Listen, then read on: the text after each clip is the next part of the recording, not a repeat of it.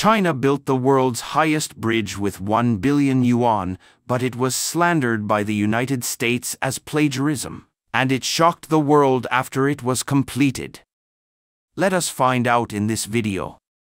China's high-speed rail technology has surpassed the world's first-class level, but in fact, China's bridge construction technology is also famous all over the world.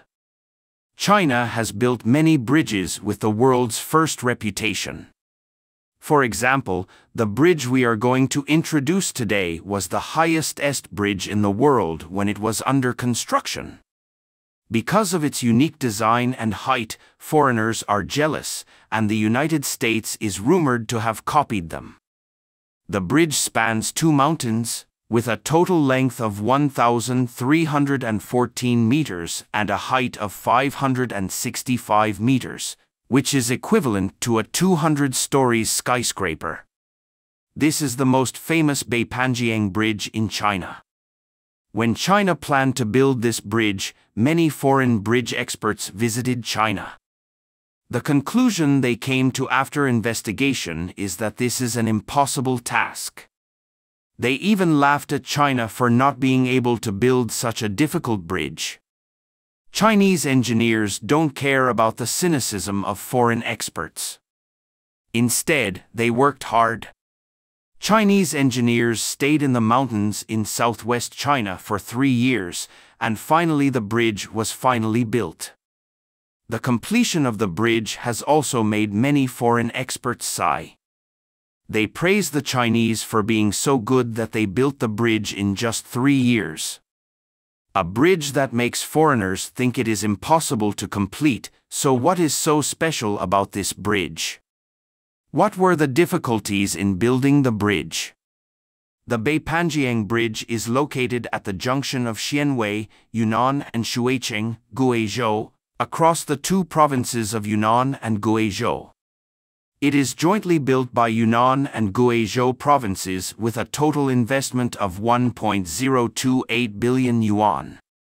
Among them, Yunnan contributed 537 million yuan, and Guizhou contributed 491 million yuan.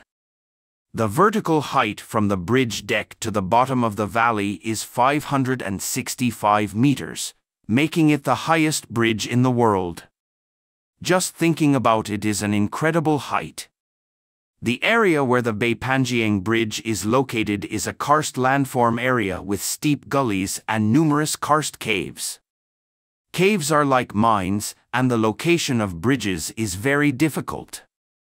In order to avoid the caves and fissures all over the mountain, the designers kept moving the position of the bridge higher, and finally set the bridge deck at a dizzying height of 565 meters.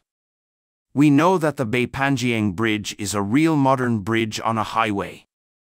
There were large cargo trucks reciprocating non-stop on the bridge deck, and the cable tower was located on the cliff, so the technical difficulty of construction can be imagined.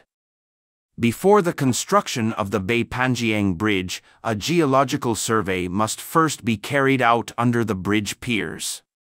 Detecting whether there was a void within hundreds of meters below the bridge. If cavities in the rock are found, these cavities must be reinforced with cement to ensure the stability of the foundation of the Beipanjiang Bridge. Otherwise, Rushing to build piers above these cavities means that the rock foundation of the Beipanjiang Bridge would collapse under the weight of the bridge itself. Therefore, from the beginning of the survey, the construction difficulty of the Beipanjiang Bridge had surpassed that of the Golden Gate Bridge in the United States. Secondly, the Beipanjiang Bridge is located on the Yunnan and Guizhou Plateau. There was no shortage of various deep pits and canyons in this area, and it was very difficult to build roads on them. This means that when China was building the Beipanjiang Bridge, its logistical support for the construction of the bridge would inevitably be affected to a certain extent. Especially on the Yunnan and Guizhou Plateau, the winding and complex roads mean that China cannot build modules in factories in advance as in the past. and transport them directly to the construction site for hoisting by special transport vehicles similar to SPMT. Therefore, when the Chinese built the Beipanjiang Bridge, they often needed to complete the pouring of the bridge modules on site to ensure that the bridge construction process was relatively smooth. Coupled with the relatively harsh climate environment of the Yunnan and Guizhou Plateau, during the construction of the Beipanjiang Bridge, it is necessary to deal with various severe weather such as fog, rain, and freezing, as well as sudden valley winds, which can directly cause the dangerous impact of sudden outbreaks of bridge safety accidents. It is very difficult to build bridges in this area.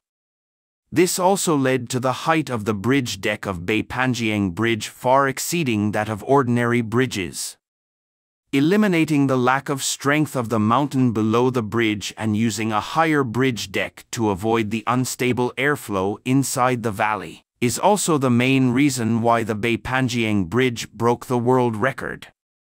Because the Beipanjiang Bridge is so unique and completely beyond people's imagination, a considerable part of the media in the United States claimed that China was able to build the Beipanjiang Bridge because they obtained the design drawings of the Golden Gate Bridge in the United States. Then, by copying the bridge design, the bridge that broke multiple world records was built. But in fact the Golden Gate Bridge is a suspension bridge, and the Beipanjiang Bridge is a cable-stayed bridge. Even if the United States handed over all the design drawings of the Golden Gate Bridge to China and let China imitate it intact, it would be impossible to build the Beipanjiang Bridge as it is now. Therefore, although many Americans always claim that the Beipanjiang Bridge is actually a plagiarism of the American Miracle Project, it is impossible to copy a world miracle with a height of more than 200 floors and a bridge deck length of 1,314 meters simply by plagiarism. If the Chinese hadn't made breakthroughs in bridge construction technology and relied on their own abilities to break through various difficulties, it would be impossible to build such a majestic building as the Beipanjiang Bridge. After solving these problems, the Beipanjiang Bridge finally opened to traffic in 2016, and it only took three years. In May 2018, Beipanjiang Bridge won the Gustavus Gold Medal at the 35th International Bridge Conference. In September 2018, the Beipanjiang Bridge was certified by the Guinness Book of World Records and also won the title of the world's highest bridge. The establishment of the Beipanjiang Bridge directly connects Yunnan and Guizhou. Previously, the driving time from Guizhou to Yunnan was more than five hours.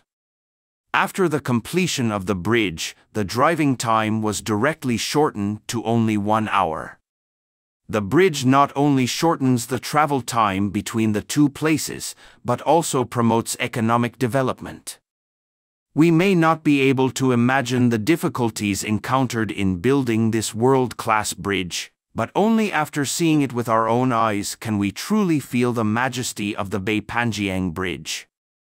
Today, China's infrastructure technology is becoming more and more advanced, especially the completion of the Beipanjiang Bridge, which has driven the development of Yunnan and Guizhou, played a role in fueling the economic strategy of southwest China, and brought new hope to the Chinese people.